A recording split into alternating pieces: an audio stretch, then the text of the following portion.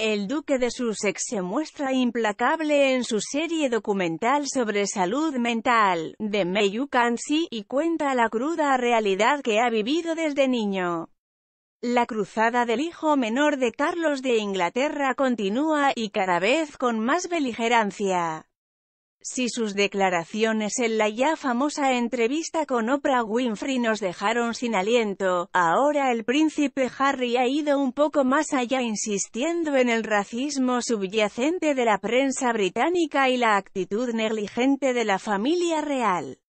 Llega incluso a revelar que teme que la historia se repita y que su mujer, Meghan Markle, tenga tan triste final como el de su madre, Lady Di.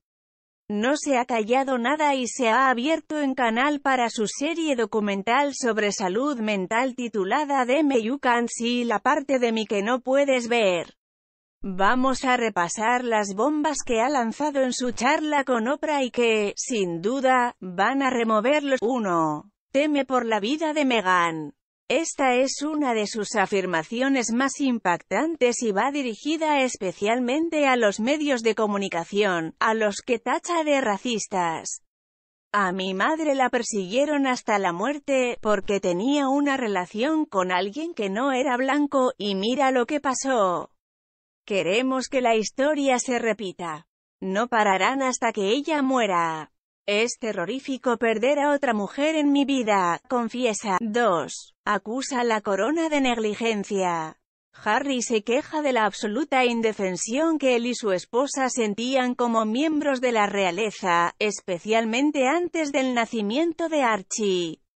Por eso intentaron pedir ayuda a la firma, como el príncipe se refiere a la institución, pero no obtenían respuesta. Así se lo ha explicado a la periodista americana, pensaba que mi familia me ayudaría, pero todas las peticiones, todas las señales encontraron un silencio o una negligencia total. Pasamos cuatro años tratando de que funcionara. Hicimos todo lo que pudimos para quedarnos allí y seguir haciendo nuestro 3. Arremete de nuevo contra su padre. El duque de Sussex insiste en cuestionar el papel del príncipe de Gales en relación al cuidado y protección de sus hijos tras la muerte de Lady Di. Al parecer, él insistió en que Harry y Guillermo tenían que aprender a lidiar con los paparazzi diciéndole, fue así para mí, así que para ti será así. Su respuesta fue contundente, eso no tiene sentido. El hecho de que haya sufrido no significa que tus hijos tengan que sufrir.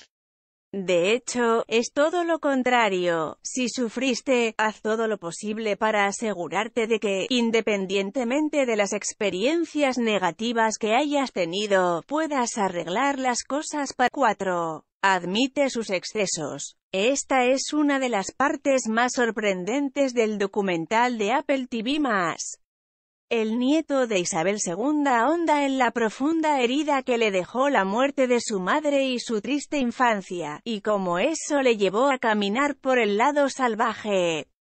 Estaba dispuesto a beber, estaba dispuesto a tomar drogas, estaba dispuesto a intentar hacer las cosas que me hacían sufrir menos.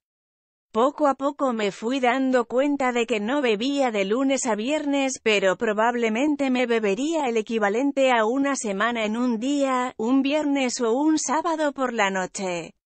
Y me daba cuenta de que bebía, no porque lo disfrutara, sino porque intentaba enmascarar algo. 5 sin apoyo para su salud mental cuenta que tenía ansiedad, crisis de pánico, miedo, y sabía que necesitaba la terapia para sanar del pasado. Su familia una vez más le negó su ayuda y le aconsejó que se aguantara. Cuatro años de terapia para una persona que nunca pensó que necesitaría terapia es. Eso es mucho tiempo. Tampoco estaba en un entorno en el que se animara a hablar de ello.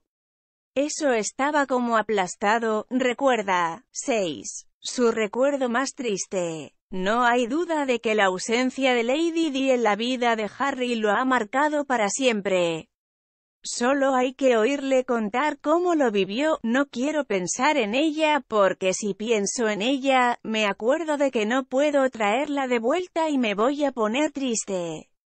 ¿De qué sirve pensar en algo triste? ¿Cuál es el punto de pensar en alguien que has perdido y que nunca va a regresar? Y simplemente decidí no hablar de eso.